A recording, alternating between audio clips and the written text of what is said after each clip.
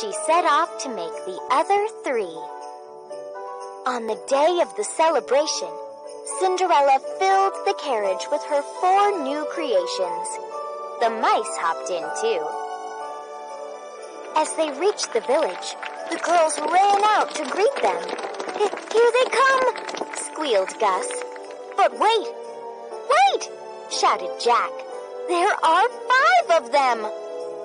There must be a new family in the village, said Cinderella. What are we going to do? Cinderella stepped down from her carriage. To thank you all for inviting me, I wanted to surprise you with new dresses, she said. But I'm afraid I've only made four. Don't worry though, I have an idea for how we can make a fifth. What if we all shared a part of our new dresses? asked the eldest girl. Then maybe you'd have enough cloth to make our friend a dress too.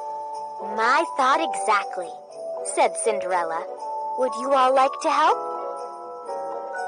The girls didn't waste a moment. They carried their dress